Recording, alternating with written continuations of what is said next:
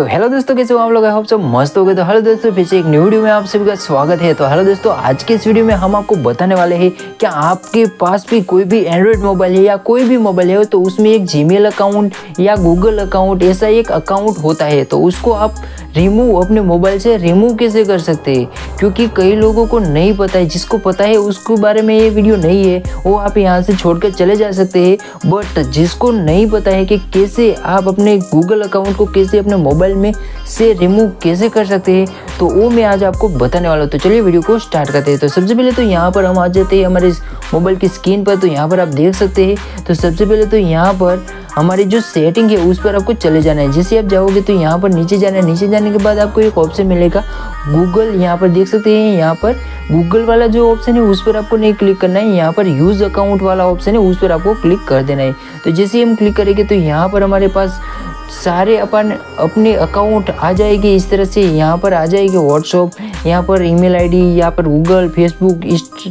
यहाँ पर सभी कुछ यहाँ पर आ जाएगा तो यहाँ पर आपको गूगल वाला जो ऑप्शन है उस पर आपको क्लिक कर देना है तो जैसे आप क्लिक करेंगे तो यहाँ पर आपको अपनी सारी ईमेल आईडी भी यहाँ पर शो करेगी तो यहाँ पर जिस ईमेल आईडी को आपको रिमूव करना है उस पर आपको क्लिक कर देना है तो जैसे आप क्लिक करोगे तो यहाँ पर आपको इस तरह का इंटरफेस खुलकर आ जाएगा तो यहाँ पर आपको थ्री डॉट पर आपको क्लिक करना है और यहाँ पर रिमूव अकाउंट वाला ऑप्शन है उस पर आपको क्लिक करके यहाँ पर आपको ओके वाला जो ऑप्शन है उस पर आपको क्लिक कर देना है तो जैसे आप क्लिक करोगे तो यहाँ पर हमारे जो अकाउंट है जो गूगल अकाउंट है, वो रिमूव हो जाएगा। सिंपल तरीका है, आसान तरीका है, इसी तरीके से आप अपने जो जीमेल अकाउंट है, उसको आप रिमूव कर सकते या गूगल अकाउंट को रिमूव कर सकते तो आई होप आपको वीडियो कैसा लगा, वो कमेंट करके ज़रूर बताइए और ऐसे वीडियो देखने के लिए चैनल को सब्सक्राइब कर बेल कर प्रेस कर दीजिएगा। तो चलिए मिलते हैं नेक्स्ट वीडियो में, तब तक बाय और जय हिंद।